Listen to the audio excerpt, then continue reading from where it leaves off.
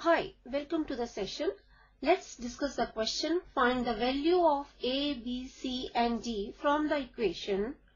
A 2 by 2 matrix whose elements are A minus B, 2A plus C, 2A minus B, 3C plus D is equal to another matrix whose elements are minus 1, 5, 0, 13.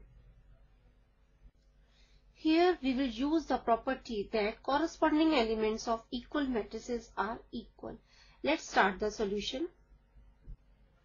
Solution. By using the key idea that is as the given matrices are equal,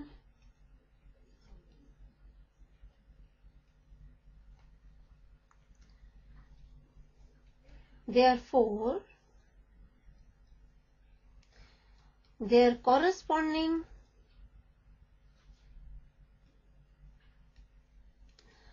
elements must be equal.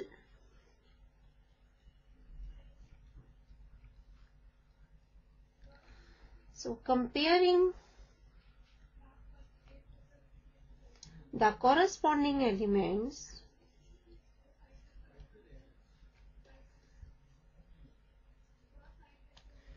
we get A minus B is equal to minus 1. Let us take it as number 1 equation.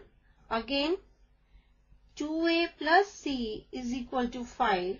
Let us take it as number 2 equation. 2a minus b is equal to 0. Let us take it as third equation and again 3c plus d is equal to 13. Let us take it as fourth equation. Now we will solve all these equations on subtracting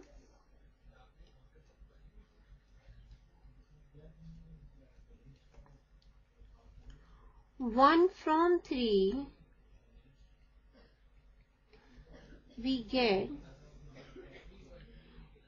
2a minus b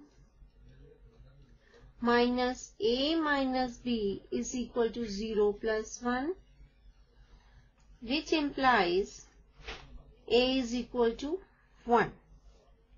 Now put the value of a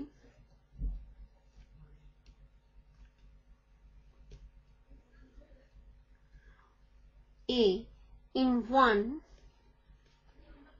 we get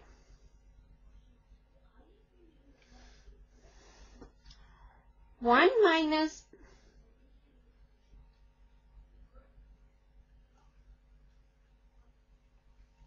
one minus b is equal to minus 1 which implies b is equal to 2.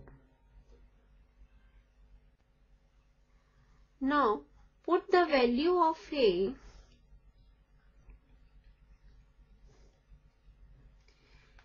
in 2 we get 2 into 1 plus c is equal to 5 which implies c is equal to 3. Again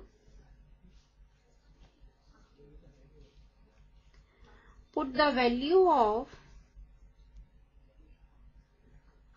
C in 4 we get